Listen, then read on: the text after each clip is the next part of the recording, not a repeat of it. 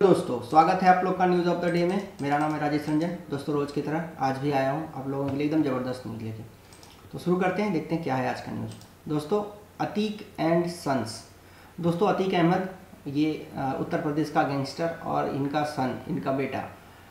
दोस्तों आज एक यूपी में फिर से गाड़ी तो नहीं पलटी है, मगर यहाँ पे अतीक के बेटे असद का झांसी में एनकाउंटर हुआ है। इसके बारे में पूरा डिटेल जानेंगे, कैसे, क्या हुआ, कौन है। तो दोस्तों चैनल पे अगर नए हैं तो सब्सक्राइब का बटन ज़रूर दबा लीजिएगा news of the day TV का। तो शुरू करते हैं। अतीक एंड सन्स दोस्तों, आज सुबह से या फिर आपने कई बार टीवी पे या फिर इंटरनेट पे देखा होगा इस तरीके के हेडलाइन कि उमेश पाल केस में अतीक अहमद के बेटे का एनकाउंटर या अतीक के बेटे असद का झांसी में एनकाउंटर इस तरीके का काफ़ी हेडलाइन आपने सुना होगा। हो सकता है आपने पूरा न्यूज़ नहीं देखा होगा या देखा होगा। देखा होगा तो बहुत अच्छी बात है। बताता हूँ क्या है मामला। दोस्तों आ, ये अतीक अहमद गैंगस्टर हैं उत्तर प्रदेश के और इनका बेटा है आ, जो था असद और इनका एक गैंग शूटर भी था गुलाम। तो ये दोनों का इनकाउंटर हुआ है दोस्तों। ये मामला था 2005 में। विधायक राजू पाल की हत्या हुई थी।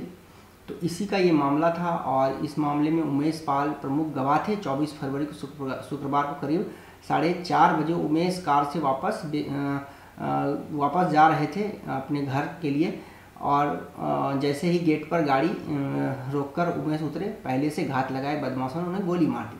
तो दोस्तों ये मामला है विधायक राजू पाल की हत्या है और उनके गवाह का जान से मारने का मामला है और इस मामले में ये फरार थे असद और इनका शूटर गुलाम। जो और अतीक अहमद भी इस सब में दोस्तों, इनका भी काफ़ी बड़ा मामला है। किसी एक दिन और वीडियो बनाऊँगा उस पर फ़िलहाल आज है इनको इनका इनकाउंटर कर दिया गया। अतीक अहमद के बेटे का अतीक इनकाउंटर शूटर गुलाम भी ढेर। तो दोस्तों, ये जो था उमेश पाल मर्डर केस में ये लोग इन्वॉल्व थे और इन पर, इन दोनों पर पाँच लाख का पाँच पाँच लाख का जुर्माना भी सॉरी ये था इनाम भी घोषित था। असद और गुलाम पर पाँच पाँच लाख का इनाम भी था।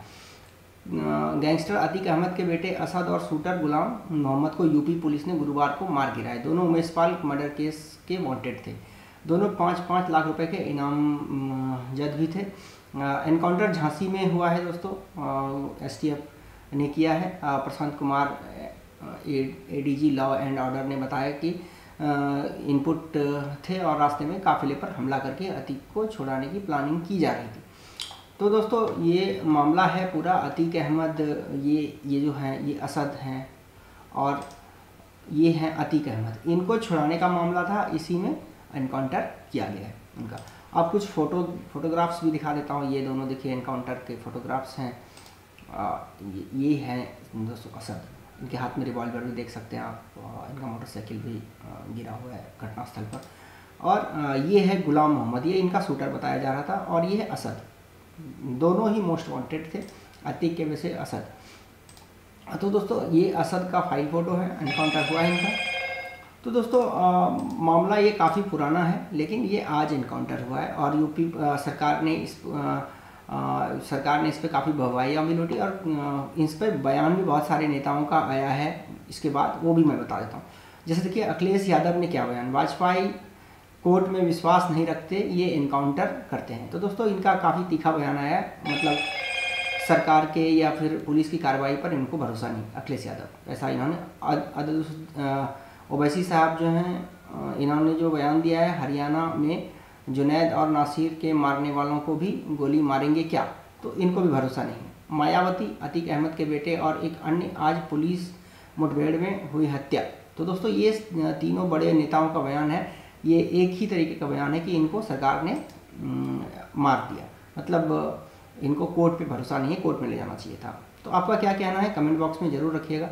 और सरकार का अपना अलग रुख है। और विपक्षी का अलग ही रुख होता है, हर मामले पर। तो दोस्तों, आपका क्या इसके बारे में कहना है? ज़रूर कमेंट बॉक्स में लिखिएगा। आज के लिए इतना ही था। मिलते हैं किसी और वीडियो में दोस्तों। और आज के लिए अगर चैनल पे आप लोग नए हैं तो सब्सक्राइब ज़रूर कर लीजिएगा। लाइक कीजिए, कमेंट कीजिए, शेयर भी कीजिए अगर अच्छा लगता हो नमस्कार। मिलते हैं किसी और